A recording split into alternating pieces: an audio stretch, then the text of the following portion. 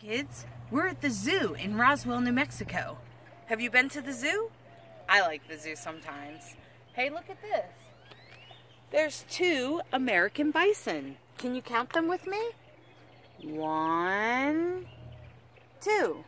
Come on, count out loud. One, two. Two American bisons.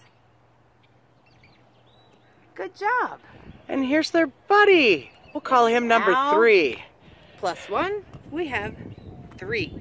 Three American bison. One, two, three.